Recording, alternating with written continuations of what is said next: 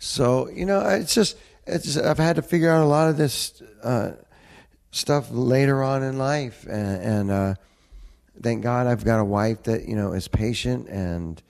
Um, but yeah, I mean, so I guess that that in answer to your question, that that line, I mean, it's just like uh, you know uh, these things that come up when they come up, whether it's getting clean and or having to find a God or having to learn how to have fun, clean and sober, or learning how to have a relationship with a friend or or or family or uh, your wife or whatever. It's like it still presents challenges, and that's the only time I feel like you know hopeless or like I, I don't know what more I can be doing Right. right now, Right. or or I don't. I get frustrated and I don't see an answer, an, an mm-hmm. attainable answer quickly that I can just grab and go, oh, here it is.